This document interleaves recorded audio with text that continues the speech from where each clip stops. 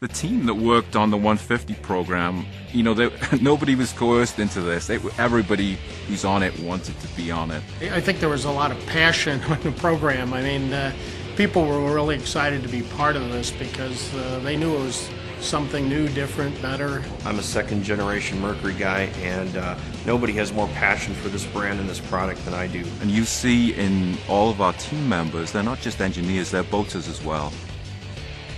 I think a lot of it was making sure we kept going back to the voice of the customer. And they told us that they want a light engine, a small engine. Easiest to maintain, most durable. That could really work well for not just the freshwater uh, angler, but also the saltwater angler, and something that could even perform on a bass boat, which is historically been a two-stroke market.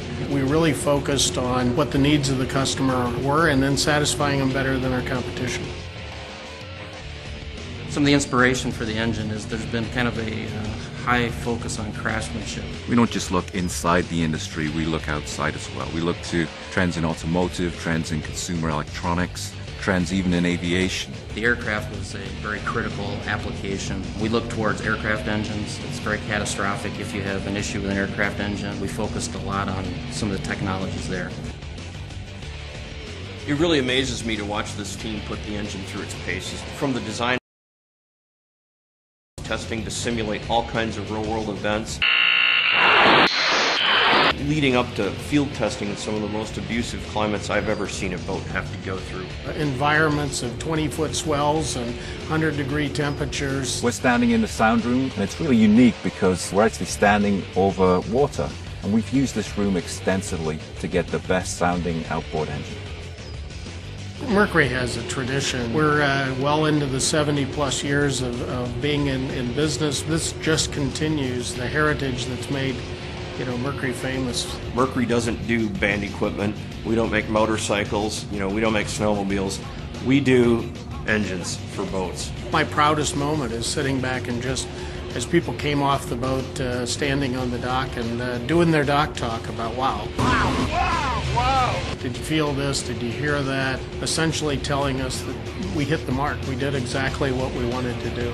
That's the kind of thing that you live for when you when you're in this kind of business.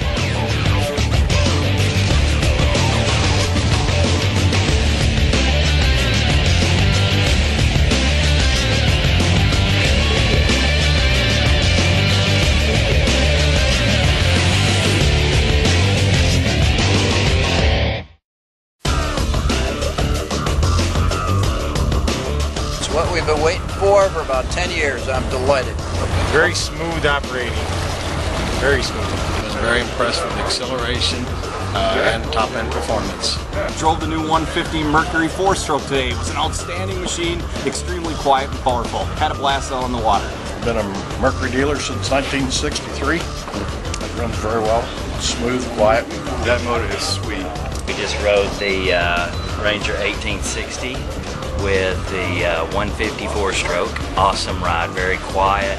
Performance was uh, very, very good. Uh, actually surprised both of us. Probably go back up and change some orders uh, to uh, this uh, 150. After all these years of being anti-Mercury, thinking about becoming a new Mercury outboard dealer.